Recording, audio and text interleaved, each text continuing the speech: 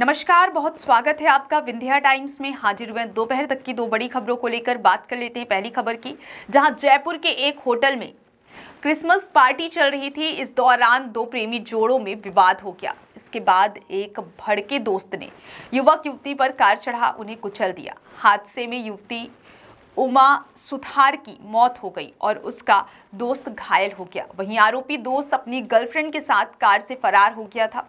पूरी घटना। मंगलवार सुबह करीब साढ़े पाँच बजे की है, जिसका हैरान कर देने वाला सीसीटीवी फुटेज सामने आया है। जयपुर पुलिस ने इस वारदात के मुख्य आरोपी मंगेश अरोड़ा को गिरफ़्तार कर लिया है। जवाहर सर्किल थाने के टीआई दलबीर सिंह ने बताया कि यह घटना होटल एवरलैंड विश की है। मंगेश अरोड़ा और श्रेया भारद्वाज के साथ राजकरण और उसकी दोस्त उमा सुधार पार्टी के लिए गए थे। पार्टी के दौरान मंगेश ने उमा सुधार पर कुछ कमेंट कर दिया, जिसके बाद मंगेश और राजकरण में झगड़ा हो गया। इसी झगड़े में फिर उमा के साथ श्रेया भी कूद पड़ी। होटल से शुरू हुआ झगड़ा रोड के बीच तक आ पहुँचा, जिसके बाद मंगेश ने अपनी कार से बेसबॉल का डंडा निकाला और हमला कर दिया। यही नहीं। इसके बाद मंगेश अपनी दोस्त श्रेया के साथ कार में बैठा और सड़क के नीचे खड़े राजकरण और उषा पर कार चढ़ा दी। हादसे में राजकुमार तो कार की टक्कर से दूर जा गिरा, लेकिन उषा के ऊपर से गाड़ी निकल गई।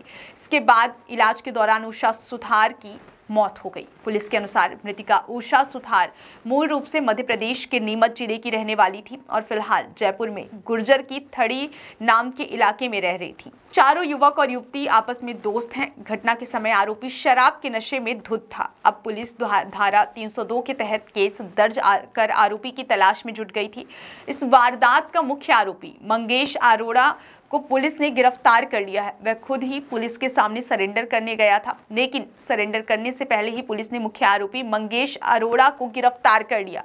मृतिका युवती के माता पिता ने मुख्य आरोपी मंगेश अरोड़ा के खिलाफ सख्त कार्यवाही की मांग की है। मृतिका के माता पिता का रो रो कर बुरा हाल है और उनका कहना है कि घर के, घर में कमाने वाली वही अकेली थी और उसके जाने के बाद पूरा घर बुरी तरह से टूट गया है। बात करते हैं दूसरी बड़ी खबर की, जहाँ सीएम मोहन यादव की सरकार ने अपराधियों पर शिकंजा कसना शुरू कर दिया है। ताज़ा मामला।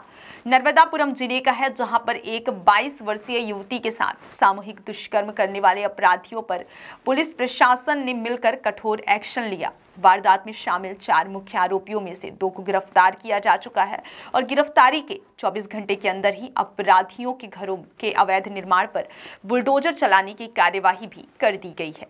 मोहन यादव ने मुख्यमंत्री बनने के बाद से अपराधियों पर ताबड़तोड़ एक्शन लिए हैं।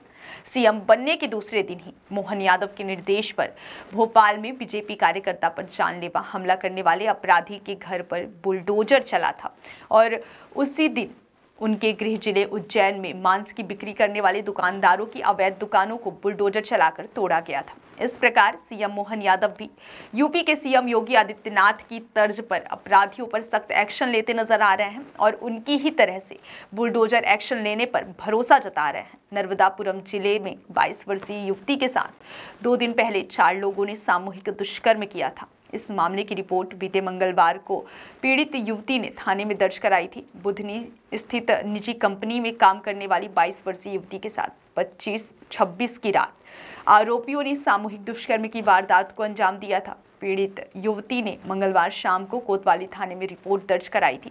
रिपोर्ट दर्ज होते ही नर्मदापुरम पुलिस ने तुरंत कार्यवाही करते हुए चार में से दो आरोपियों को गिरफ़्तार कर लिया। बुधवार यानी कि आज राजस्व और पुलिस ने कार्यवाही करते हुए दो आरोपियों के अवैध निर्माण पर बुलडोजर चलाकर उनको तोड़ने की कार्यवाही की है। मौके पर सिटी मजिस्ट्रेट संपदा सर्राफ तहसीलदार देवशंकर धुर्वे, एसडीओपी पराग सैनी और पुलिस और नगर पालिका का अमला मौजूद रहा। सीएम मोहन यादव की सरकार बुलडोजर कार्यवाही से संदेश देने की कोशिश कर रही है कि मध्य प्रदेश में क्राइम कंट्रोल करने के लिए सरकार अब बुलडोजर एक्शन अधिक से अधिक लेगी। बहुत बहुत धन्यवाद।